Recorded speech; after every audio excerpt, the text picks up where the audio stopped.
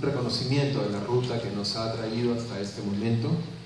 Eh, muchas gracias por las palabras eh, inspiradoras del señor Julio Gutiérrez. Nos, nos, señala en un reto de pensar, eh, pensar diferente y los retos que enfrentamos hoy en día en el planeta amerita realmente lo que, la invitación que nos acaba de hacer. Eh, quiero comenzar recordando eh, que muchas de las ideas que llevaron a la formación de esta conferencia eh, empezaron a tomar forma en la reunión que, tuvo, que tuvimos la comunidad de práctica andina perteneciente a la red colaborativa de investigación de cultivos, conocida también como CSRP, es una red mundial que trabaja en los Andes, en África, en otros lugares. Esta reunión tuvo lugar en Cochabamba en el mes de julio del año 2014. Y en esa oportunidad, nuestro querido amigo Carlos Pérez eh, presentó, nos presentó una conferencia magistral que nos orientó a los más de 50, 60 investigadores reunidos en esa, en esa ocasión en Cochabamba eh, respecto de las grandes transformaciones que está sufriendo la agricultura familiar, en particular en Bolivia, pero en los países andinos también, y los tremendos retos de investigación que enfrentamos. Eh, fue allí, digamos, donde a partir de estas discusiones eh, se retomó un interés que de hecho Carlos Pérez nos había ya planteado un par de años antes, y se convoca a pensar en esta conferencia efectos del cambio climático la innovación, adaptación en la agricultura familiar de la región andina. Eh, esta es una, una, conferencia que es organizada por, por y Condesan como parte de los esfuerzos uh, digamos, de, la, de esta red colaborativa de investigación que tiene alcance mundial y tiene como, como propósito eh, discutir eh, en, mucho detalle, con, la mayor profundidad que podamos, los efectos de estos grandes cambios ambientales y del clima y de la innovación y toda esa capacidad tremenda que tiene la agricultura familiar en nuestra región para responder a estos, a estos grandes cambios.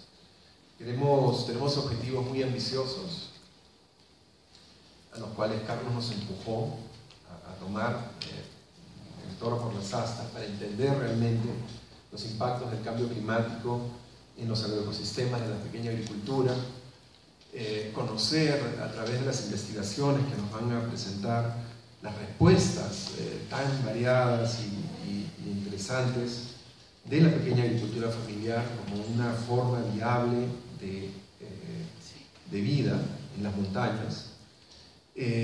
también una dimensión a la que estamos invitados a discutir es esas estrategias, esas formas únicas eh, que tiene la pequeña agricultura familiar de gestionar, de enfrentar eh, estos cambios en sus contextos.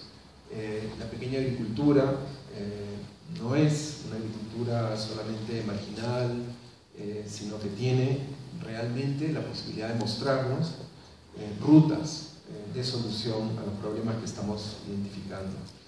En ese sentido, el reto que tenemos por delante es identificar necesidades de investigación y oportunidades desde la investigación de contribuir a la formulación de políticas, de, rutas, de caminos que apoyen precisamente esos grandes esfuerzos que vienen desarrollando eh, las unidades familiares en la región andina.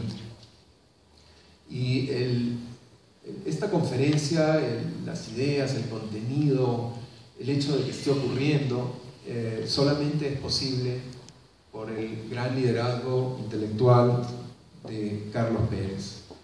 Eh, extrañamos eh, su presencia física, Carlos nos dejó hace unos muy pocos días, él hubiera estado aquí. extrañamos la presencia de Carlos, la presencia física de Carlos tenemos el honor de tener a sus hermanos Mario Eugenio y Jorge acompañándonos hoy día. Pero las ideas y por supuesto el espíritu de Carlos, este gran boliviano, eh, está presente en esta conferencia. Carlos ha sido realmente una, guía intelectual de esta red de investigadores del programa colaborativo eh, en agricultura eh, por muchos años ya. Él, puso su alma entera realmente en, los grandes retos de la seguridad alimentaria eh, que tiene la agricultura familiar en nuestra región. Y puso su alma entera en el sentido no solamente intelectual, pero pero del empeño y de animarnos a que este era un reto muy importante que no debíamos dejar de lado. Puso su mejor capacidad intelectual en eh, ayudarnos a cortar la brecha entre la investigación, las ciencias, generalmente son remotas, muchas veces eh, traen formas de pensar eh, que no permiten conectarse al saber y a las capacidades tremendas de organización de los pueblos andinos. Eh, fue una, memoria constante en, nuestras, nuestro pensar, llamarnos justamente a tener presente la importancia de los saberes andinos. Carlos fue un gran conocedor de la realidad de los pueblos rurales del mundo, eh, que adquirió en sus numerosos puestos como investigador y persona comprometida con la acción eh, en todo el mundo. Eh, trabajó en, Colombia, en México, en el Centro Internacional de Agricultura Tropical. Eh, sus aportes en cara internacional llevaron a numerosos lugares en África y en los últimos años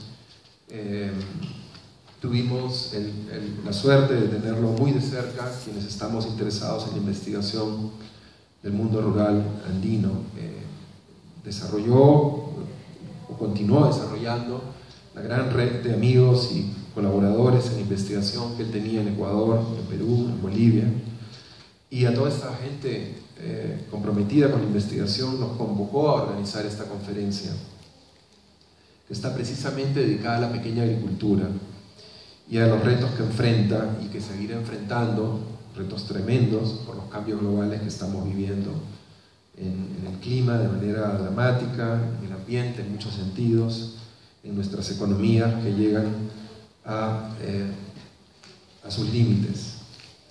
Eh, Carlos nos dio un liderazgo intelectual realmente ejemplar en el medio de todas sus dificultades. Fue realmente eh, impresionante ver retos de salud enormes que tenía, eh, cómo nos convocaba semana tras semana a pensar y a identificar las preguntas que teníamos que llevar adelante y él estuvo listo a venir a esta conferencia, pero eh, no pudo.